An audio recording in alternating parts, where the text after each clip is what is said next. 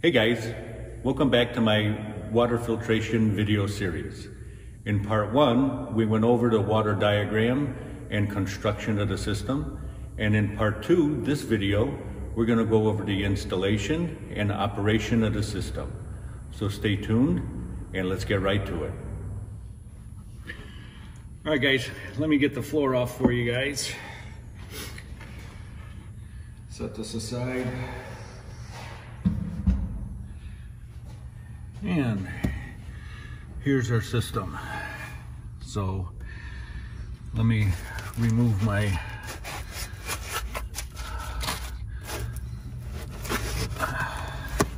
foam cases here, put that aside. And here is our system. Here's my pump. Here's the carbon filter. Here's the UV purifier and all the plumbing. So let me go over the whole system uh, piece by piece. If you haven't uh, seen my first video, uh, I suggest you go over and uh, watch that first. I'll put a link uh, for you guys right up here and as well as in the description below. Uh, I suggest you watch that first Uh, because it has all the plumbing diagrams. It'll make this video a little bit better to understand. So going back to this video, here's the pump. I mounted it right over the transmission hump. And if you recall from the first video, the pump takes its water from two sources. And I'm gonna keep referencing the first video and on the inlet side of the pump, you have a T. And this is where the T is right here. And it brings its source from either the tank or uh, in my case, the quote unquote bucket that I used in the diagram earlier. So when it pumps the water, it goes through the pump on the inlet and it brings the pump or the water uh, right through the filter. So this is the 0.5 micron carbon filter that uh, cleans the water.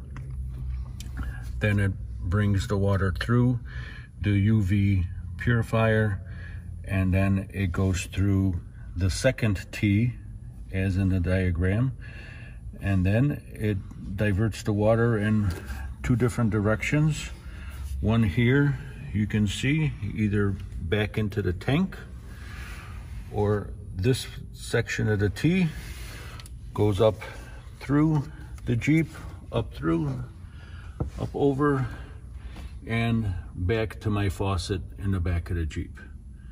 So that's the entire installation. Now I'm gonna pause the video here. I'm gonna bring you around the other side of the Jeep and I'll show you how all the valves are installed and we'll show you the system in operation. Okay, let me, uh, guys, let me bring you around the other side of the Jeep and show you how I install the valves. Here's my fill valve. Here's my uh, valve that I use to uh, pull the water out of the tank. Here's the third valve that's necessary, and that's the valve that we use to pull water out of the bucket. Valve number four, we use over here, that's near the faucet. So as you can see, it's closed, and then we have the faucet, of course, back here. So next, we're going to uh, configure the valves, and we're gonna start pumping water uh, out of the bucket. So in order to do so, we have to open the valve so we can pull water out of the bucket. We have to close the valve, pulling water out of the uh, tank.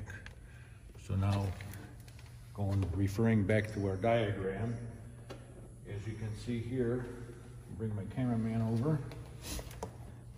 This hose will go into our T. As you can see, this hose here also goes back to our tank. This, this valve is closed, so it will not pull water out of our tank, but it will pull water out of our bucket. That's gonna go into our pump, out of our pump, through our filter system, into our second T, and then it'll go out of our T and into our tank. The valve in the back near our faucet was closed, as you saw earlier. So now all we have to do is turn the pump on. And if you can look at the bucket. So now water is going through our hose. And if you can see, I do have a pre-filter installed. So if we are running water uh, from a uh, stream or uh, any other kind of uh, uh, lake or anything, this will, is a pre-filter, it'll catch any larger debris or anything like that. So as you can hear, now the water is filling the tank. Also, if you can direct uh, the filter, you can see the, lights on the filter, the green light indicates that the filter has power. The blue light indicates that the UV is doing its thing. Also, you might notice the round set of lights that are sitting in the back. So when I was doing my lighting project um, on the roof, I, I had I, had an extra roll of lights laying around, so I didn't know what to do with it, so that was left over. So uh, what I was thinking of, uh, I didn't have anything to do with it, so I just hooked it up, and in order to indicate a uh, water level, it was kind of hard to see. So, whoop, water bucket came up. So it was kind of hard to see the water level on the tank, so I threw the light in the back and uh, hooked up a switch to it. And check this out. So I threw a light in the back, so now it's so much easier to see the water level in the tank. So it's especially uh, easier to see uh, with the floor back in it. So, all right, we're gonna pause the video. Let me fill up the tank and we'll be right back. Okay, so now that we have our tank filled, so we went through mode number one. So now let me show you a uh, mode number two, which is the recirculation mode, going back to our original diagram. So all we have to do is turn off this valve and turn on this valve. So as you can see, all we did is change the source of the water that the pump is gonna pump through.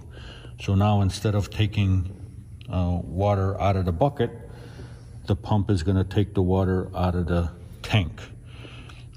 So now all the pump is doing is gonna take the water out of the tank, run it through the filter, and then back into the tank. Now why would you wanna do this? Um, basically for peace of mind should you have some water originally uh, taken from a pond, let's say, that has a lot of algae in it or uh, a questionable source and you just wanted peace of mind and you wanted to filter it a second time, well, this is a way to do that. I'm just simply showing you a way that you can filter it uh, for a second time. So simply by changing the source that the filter will take its water. So there's really no need to uh, run the pump again, but this is a way you can do it. So again, change the source that the uh, pump pumps the water. Turn the valve on on the bottom and turn the, turn the valve off here. So that's uh, uh, method, that's the uh, uh, second mode. The third mode, which we'll call the use mode, and all we have to do is divert the water on the outlet side of the filter. So here we keep the source mode the same. So we keep this valve open So now we're pulling water out of the tank. Okay, the water will go through the pump, through the filter. So now, instead of going into the tank, we want to turn that valve off. So now where's the water going to go? It's not going to go here, but instead it's going to go into the back of the Jeep. So it's going to go down this line. So we want to turn this valve on. So it's now going to go into our faucet. So what I have hooked up here is basically our faucet. So we can use a bucket, a cup, or what have you. And then I have a short hose along with this. And we'll take our original bucket so we can catch the water. Here, as I mentioned earlier, I have a method to turn my pump on from back here, which makes it super convenient. And we turn our water on, and there we have it. So now we have fresh, clean drinking water that's been filtered not once, but at the very minimum, twice. If you if you cleaned your water, uh, recirculated it, then it uh, has been cleaned three times. So I don't know if you can hear, but the pump has now turned off, even though the switch is, is still on. The pump has a pressure switch on it, so which senses the pressure uh, on the upside of the uh, pump. So um, it will turn itself off if there's a, if it senses an increase in pressure. So the reason why I keep the, I, put a, a, switch on it is simply for a uh, safety's sakes. So this way, if there's a ever a leak in the system um, with the pump turned off, it will only leak the amount of water that's in the hose. This, the, pump, the pump will not continue to uh, run until the tank is empty. So by simply turning off the pump, uh, I don't have to worry about uh, any kind of leaks in the line anyways. So, all right, so that's number mode number three. And let me give you uh, a little scenario of a, uh, a recirculating shower mode, uh, which is uh, my mode number four. So let me reconfigure the system and I'll be right back to you. All right guys, so here's my proof of concept recirculating shower system. So after using the use mode uh, valve setup, you fill up your uh, shower pan with uh, fresh clean water. So all you have to do is, again, reconfigure the valves. So we want to stop using the water out of the uh, storage tank simply by turning that valve off. You want to start taking water out of the shower pan, so you want to turn that on. So what that's going to do is going to take the water out of the shower pan, run it through the pump, through the filter, and then back to my faucet in the back. So let's walk over here. Now again, here will be my shower tent. Okay, let me walk over to this side. Here's my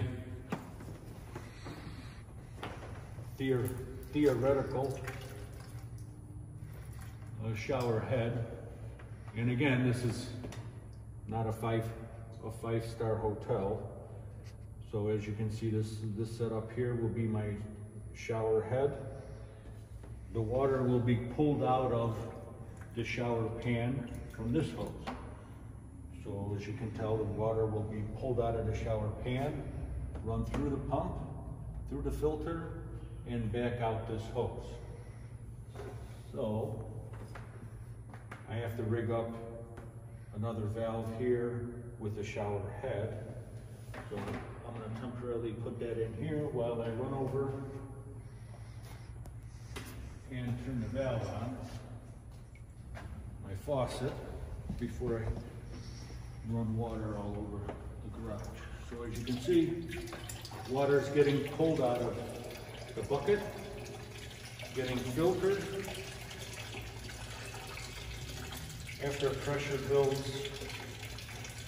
and all the air bubbles come out, I'll show you how, how much pressure we got.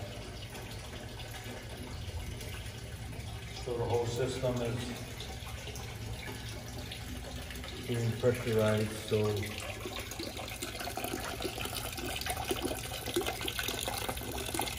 so water's coming out of the pan, cleaned, and back into the pan. So again, this is uh, this is not a five-star hotel, but certainly adequate to get yourself clean out in the back country. Wet yourself down, soak yourself off, and then rinse yourself off. This is plenty fine. As you can see, two or three people can get themselves clean on uh, two gallons of water. Okay, there you go. There's my water system. If you have any comments, please leave those below. I'd love to hear from you. My next video series is going to be my battery and solar system. Make sure you uh, hit the bell notification so you don't miss those. Like and subscribe. Thanks for watching, and I'll see you next time.